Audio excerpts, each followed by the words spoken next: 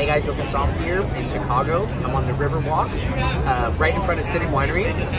It's National Rosé Day, so you know when you get a rosé. It's the Hampton Water.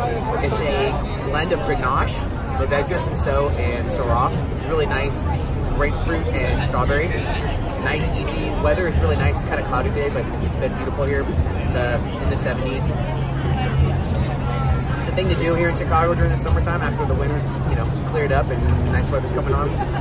So check out the City Winery in Chicago and the uh, Hampton what you like, what you like. Cheers.